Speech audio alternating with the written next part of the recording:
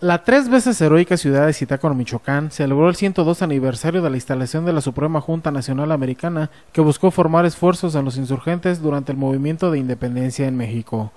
En que conmemoramos por segundo año consecutivo la instalación, el 19 de agosto de 1811, de la Suprema Junta Nacional Americana en la villa de Zitácuaro. Juan Carlos Orihuela, legislador por Zitácuaro y orador de la ceremonia, destacó la función de la Junta para mantener la cohesión entre quienes lucharon por la libertad de América. Este órgano de gobierno fue clave para la unidad de acción y de propósitos de las filas libertarias.